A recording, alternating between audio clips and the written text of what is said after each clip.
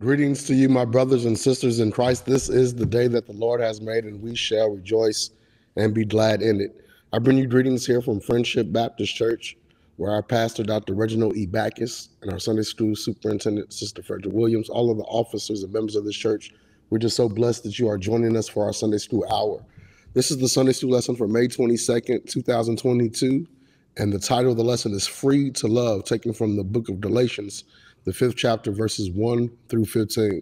Our key verse for this lesson is Galatians 5 14. And in the New King James Version, it reads, For all the law is fulfilled in one word, even in this, you shall love your neighbor as yourself. We have a really great lesson today. I think it's going to be a really uh, big help to us, and it's going to be a great encouragement for us as well. We have three goals in this lesson. First, we will examine the differences between legalism and the freedom that comes with responsibility. Second, uh, we will understand that freedom comes from trust in Christ alone. And then third, finally, we will commit to serving and loving loving others as a result of the freedom that we have through a relationship with Jesus Christ. So again, a really good lesson. I appreciate your presence. I appreciate your support, and we definitely appreciate your prayers. Uh, if by chance you have stumbled upon this lesson for the first time, uh, make sure that you turn on your notifications and that you subscribe to the channel.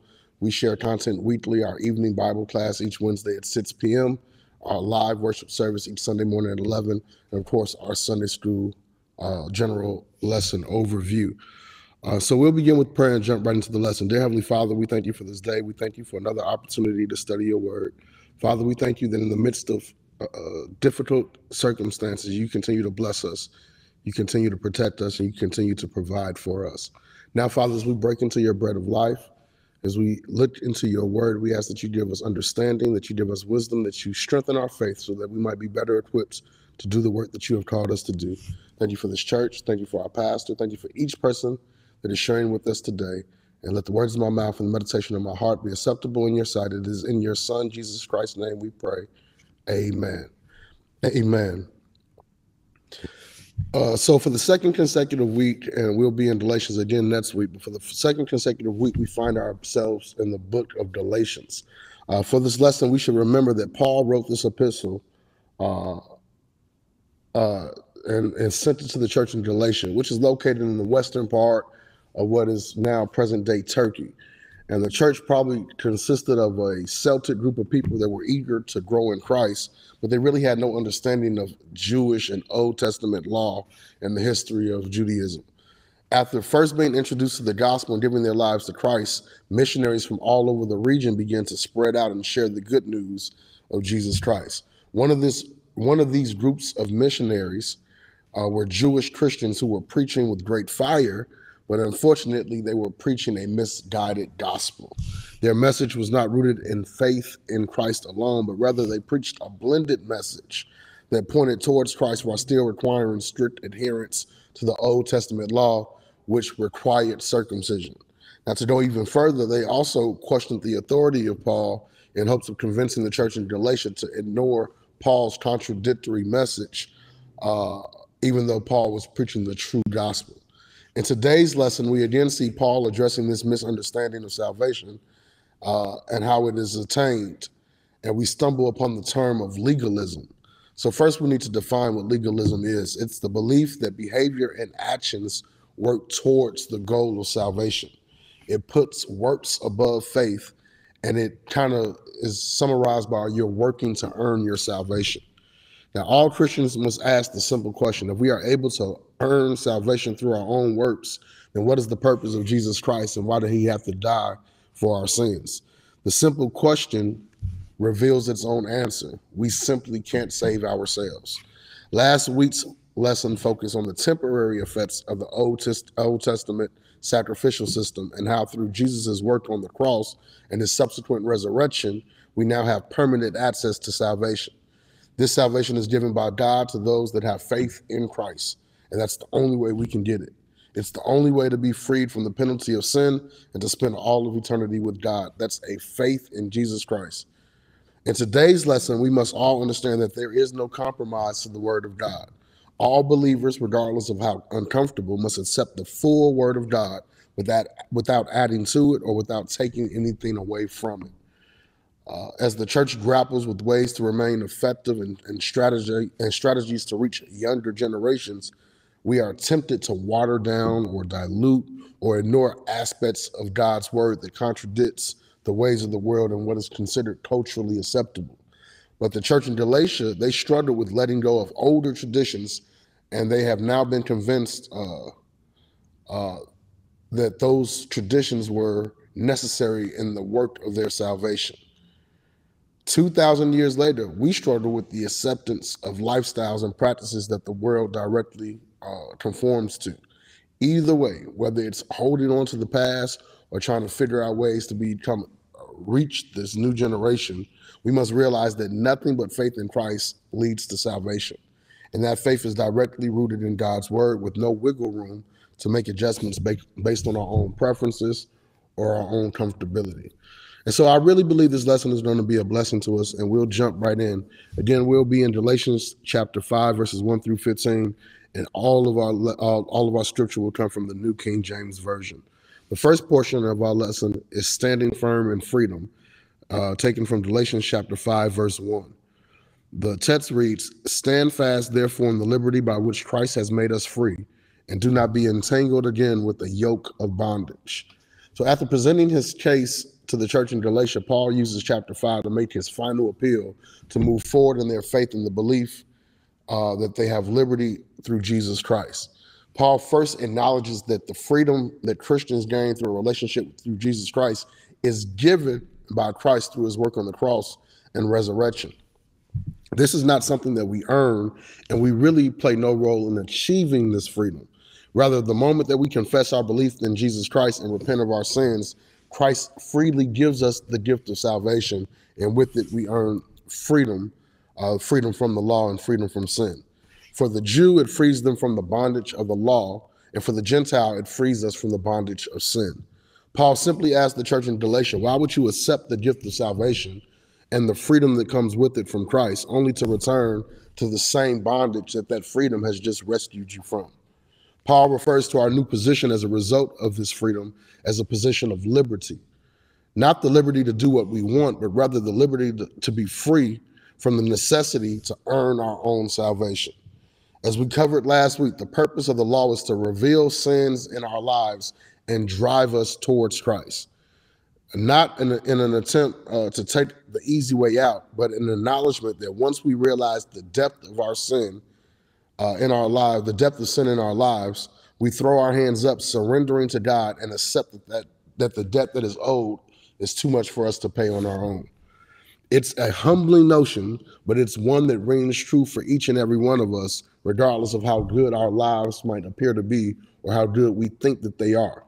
Christ's work not only pays the price for our sins, but it gives us the liberty to live a debt free life and no longer be responsible for the work necessary to grant eternal life. To further make his point, Paul addresses the yoke of bondage. This concept was widely shared by Jewish Christians, connecting our relationship with the law to that of a yoked animal. However, the Jews were not able to earn salvation from God within the law, so how could they now insist that this Gentile church return to a dependence on the law? The yoke of the law was all about restriction, living uh, according to the hundreds of commandments and hope that you could keep them all, which was an, an impossible task, even for the most righteous of us. The gospel of Jesus Christ is not about restriction, but rather it signifies freedom. That's freedom from death, freedom of eternal life, and freedom from the bondage of the law. So we see standing firm in freedom in Galatians chapter 5, verse 1, but now we see the law demands total commitment. In Galatians chapter 5, verses 2 through 6, the text reads, Indeed, I, Paul, say to you that if you become circumcised, Christ will profit you nothing. And I testify again to every man who becomes circumcised that he is a debtor to keep the whole law. You have become estranged from Christ, you who attempt to be justified by law, you who have fallen from grace. For we through the Spirit eagerly wait for the hope of righteousness by faith. For in Christ Jesus, neither circumcision nor uncircumcision avails anything, but faith working through love. So in the second verse, Paul actually names the issue that is the root of the conflict between him and the conflicting message of the Jewish leaders.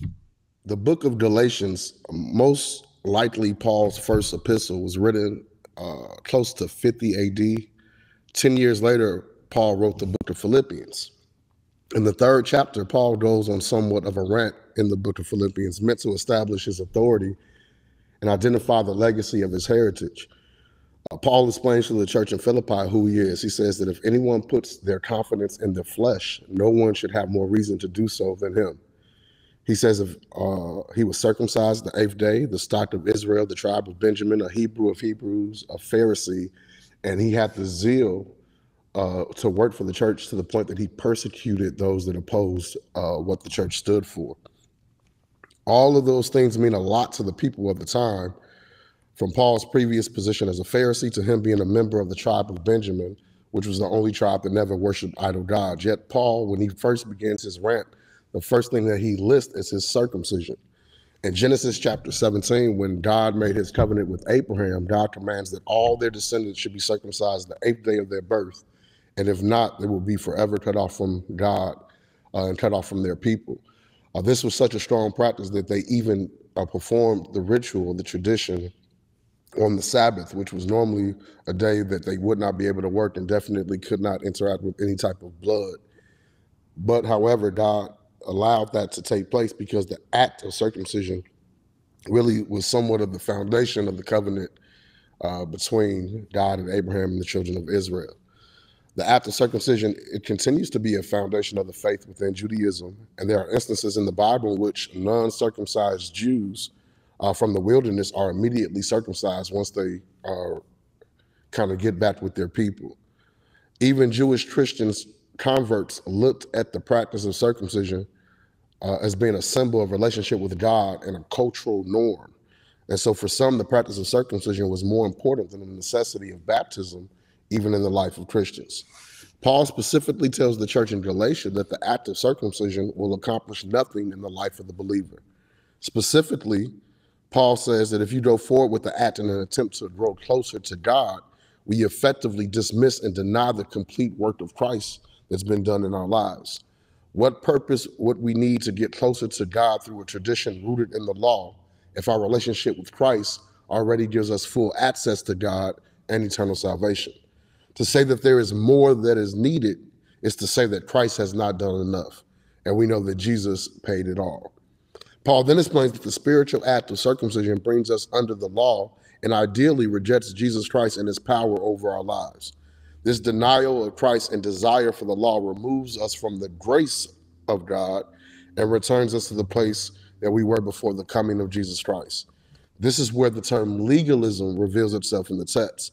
Paul questions why would the church in Galatia want to give up their freedom and return to the bondage of the law when the law has proven to be ineffective in achieving what they already have received from Jesus Christ.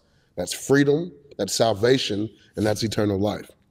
In verse 6, Paul again identifies the source of righteousness in the life of the believer through faith and faith alone. That's how we achieve righteousness. That's how we achieve salvation in our lives through faith and faith alone. To eagerly await means that we not only know that it is coming, but it also shows that it is given from a source that we have no control over. Again, Paul highlights the truth that our faith produces righteousness. It's a process and it always begins with faith. Our faith draws us nearer to God. As we get closer to God, we begin to read his word and speak to him more. That in turn allows us to hear from God and understand his will for our lives in a clearer and more precise way. That in turn produces works through our surrendering to God's will, and the result is an increase in righteousness in the life of the believer. But again, that entire process starts with faith. If we have faith, that faith draws us to God. And as we get closer to God, we start to understand his will, we start to hear from God, and it produces righteous works. In other words, spend time with God and get to know him, and watch how time spent will translate into better living and turning away from sinful living in the life of believers. All of this is given by God in response to our faith in him. Paul reminds again that the act of circumcision will do nothing for our relationship with God. Jesus said it himself I am the door, and no man comes to the Father but through me. And what can be considered a slight dig at the Jewish Christian leaders, Paul says that if you're circumcised or not, it avails nothing. Or better put, it gets you nowhere with God being circumcised. This directly contradicts the growing belief that the Jewish Christian Christians were uh, better than Gentile Christians because they were circumcised and followers of this important Old Testament commandment. So we see standing firm in freedom. We just covered the law demands total commitment, but now we look at stern words for troublemakers. Galatians chapter 5, verses 7 through 12, the text reads, You ran well. Who hindered you from obeying the truth? This persuasion does not come from him who calls you. A little leaven leavens the whole lump. I have confidence in you, in the Lord, that you will have no other mind, but he who troubles you shall bear his judgment, whoever he is. And I, brethren, if I still preach circumcision, why do I still suffer persecution? Then the offense of the cross has ceased. I could wish that those who trouble you would even cut themselves off. So in, ver- in verse 7, Paul directly questions the church in Galatia, asking them, How did they get so far off course? He first points out that they were initially on the right track. This confirms the excitement and wonderful work of the Holy Spirit in the early days of the church. There was a strong commitment to receiving and adhering to the word of God. And Paul considered the church in Galatia to be a wonderful example of God's work amongst the Gentiles. But somehow, between their first introduction to the gospel and now, Paul recognizes that someone must have convinced them to grasp a hold of something false and contrary to what was first introduced. Again, the issue of legalism is lifted, and Paul wonders how did the church turn away from the grace of God being the source of their salvation and now shift their attention to their own works? Paul refers to this misinformation that has been accepted as a hindrance, which prevents the church in Galatia from continuing down the path of salvation that they were already on, a journey that they were earlier successful in, but now have gotten off track in. He literally states, I don't know where you all went wrong, I thought that you had had it figured out. Paul then shows them just how easy it is for a small amount of misinf- misinformation to distort the entire truth. Just a week ago on cable news, uh, uh, one of the pundits said that the Supreme Court justices and their families had to be uh, shipped off to secret locations by Secret Service uh, because they were in danger from rioters uh, protesting the uh, the leaked draft of the of the uh, decision that will overturn Roe v. Wade. The statement was completely false, but within hours of him saying it, politicians were all over the media spreading the lie. When directly questioned about his source, the man responded that he read it on Twitter somewhere. Thankfully, the entire thing was a lie, but it shows how easily lies can spread. All it takes is a little bit. Again, to understand the context of this issue, we must look at the church in Galatia with our first century imaginations. There was no internet or fact checking resources available at the time. There were no printed records of the work or words of Christ, and the epistle and, the epistle in Galatia was one of the first books written in the New Testament. Their entire relationship with the church was based on preacher sermons that they had heard and subsequent missionary teachings. Paul and his team were most likely the first to introduce the gospel, but there were so many other false teachers, including people claiming to be the second coming of Jesus Christ. In what can be considered the wild west of the early Christian church, it is not uncommon for young and immature Christians to become confused amid so many contradictory teachings. At least from the, that context, we can somewhat understand how issues of theology and disputes uh, arose in the early church. But when we, we would be remiss not to look at the 21st century church in a time in which we have so much access to so many free resources, we have so, no excuse to be uneducated or immature in our faith. When we can study, learn, and dive into the word without any limit, there is no reason for us to ever fall victim to false prophets and false teachings.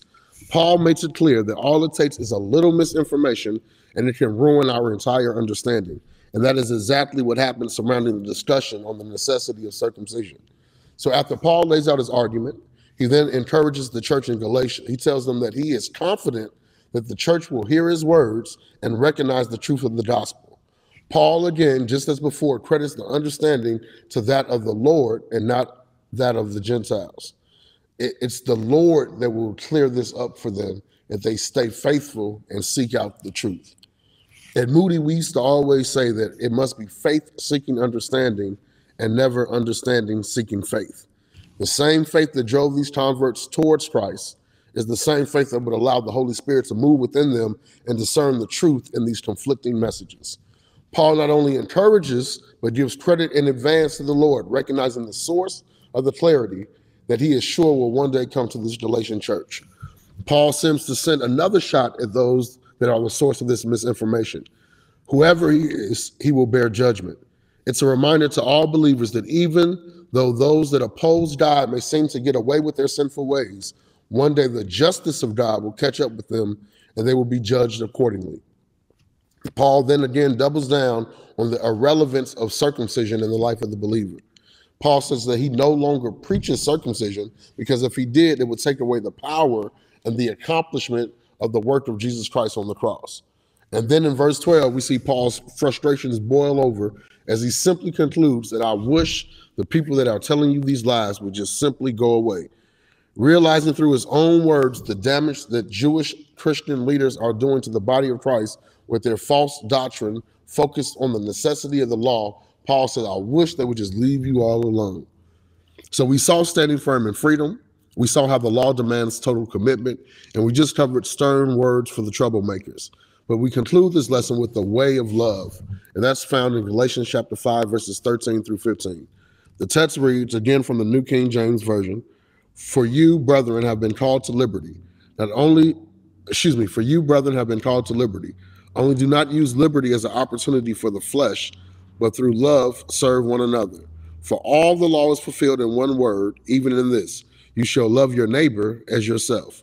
But if you bite and devour one another, beware lest you be lest you be consumed by one another. So Paul concludes by reminding the Galatian church of the freedom that they have, uh, that they've received through the work of Jesus Christ.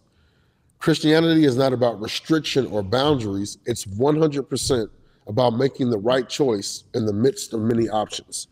When it comes to the laws of the land, I, as a citizen, don't think that we should force restrictions on people.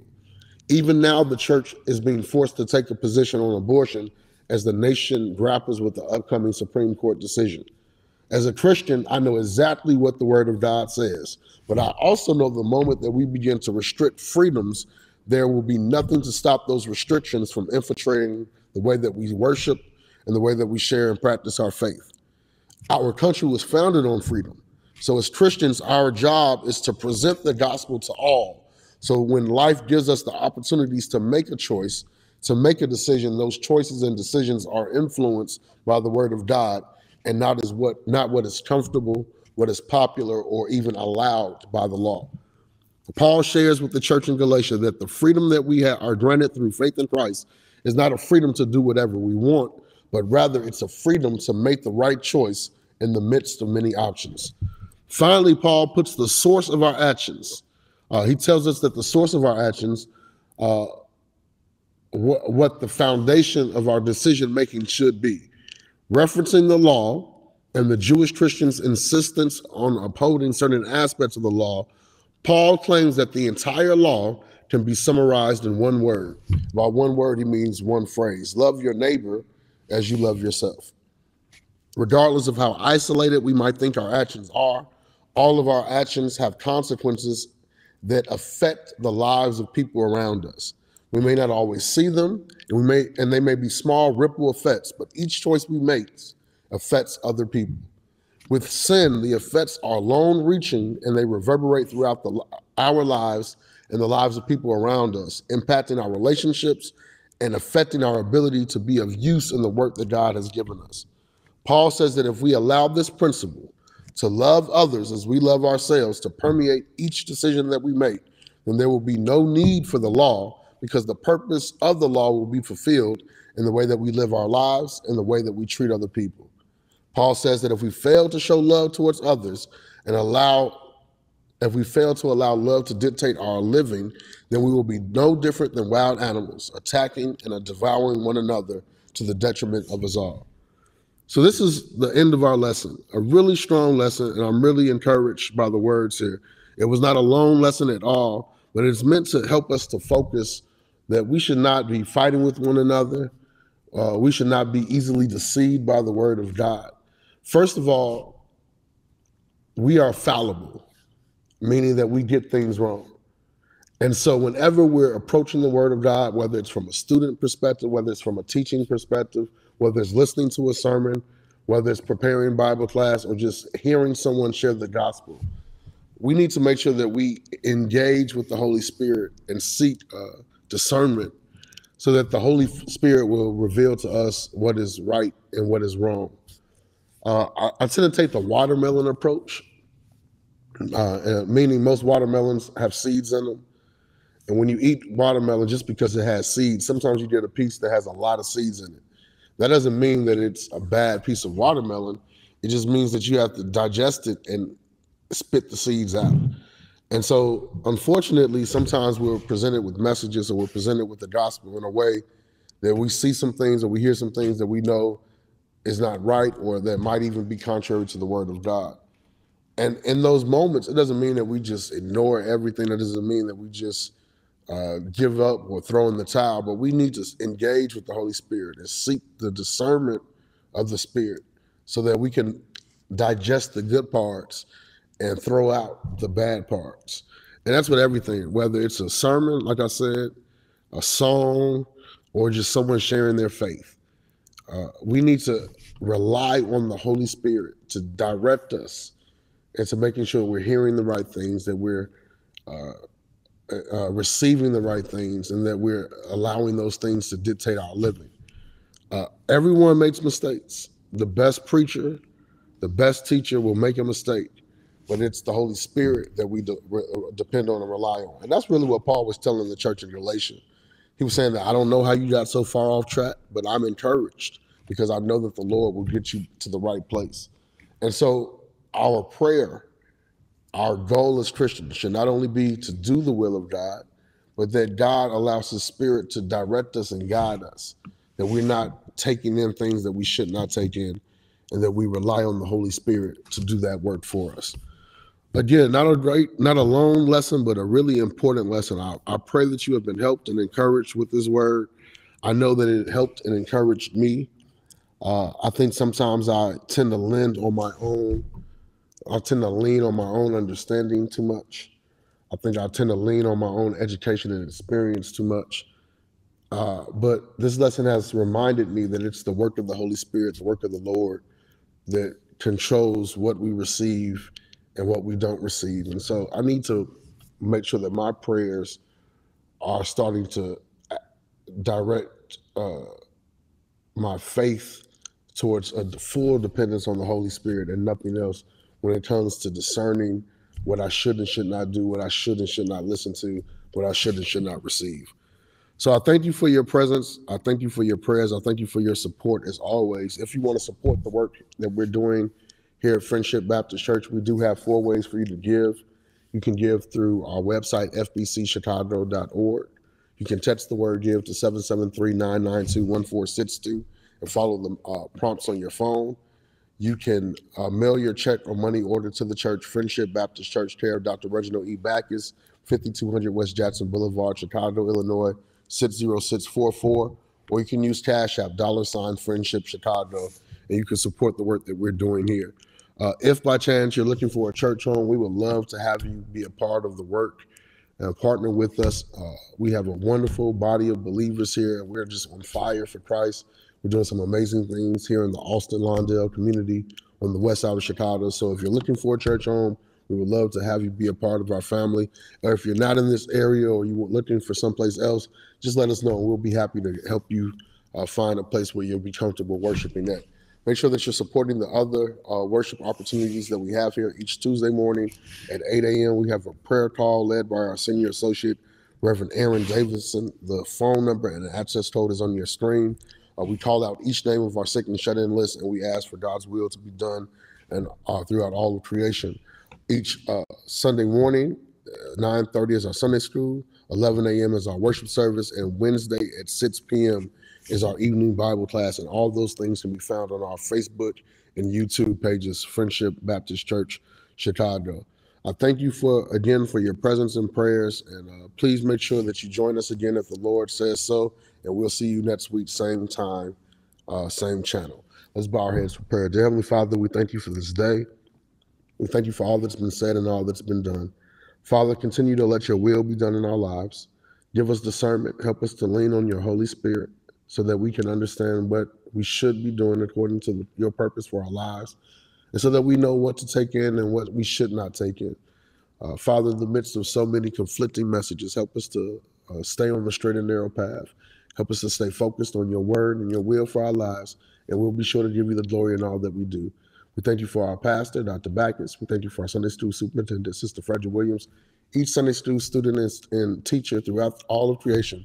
Just bless us and keep us according to your word. It is in your Son, Jesus Christ's name, we pray. Amen. Amen. Uh, on behalf of our pastor, on behalf of our superintendent, Dr. Bachus and Sister Williams, we just praise God for you. We pray that you have a wonderful week and that God continue to bless you. Uh, go in peace and serve the Lord. Amen.